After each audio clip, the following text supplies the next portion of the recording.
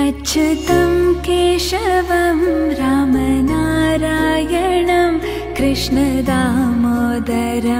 वासुदेवं हरिं श्रीधरं माधवं कपिकावल्लभं जानकीनायकं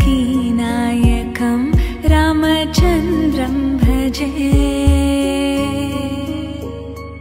अच्युतं केशवं श्रीधरं राधिकाराधितम् इन्दिरामन्दिरं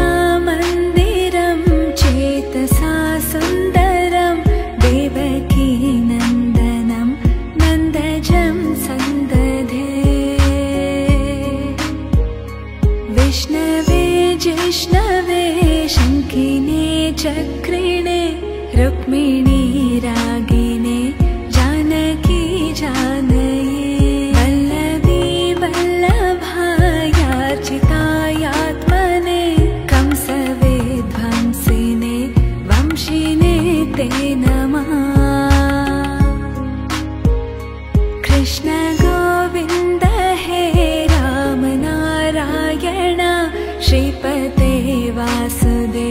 वाजिते श्रीनि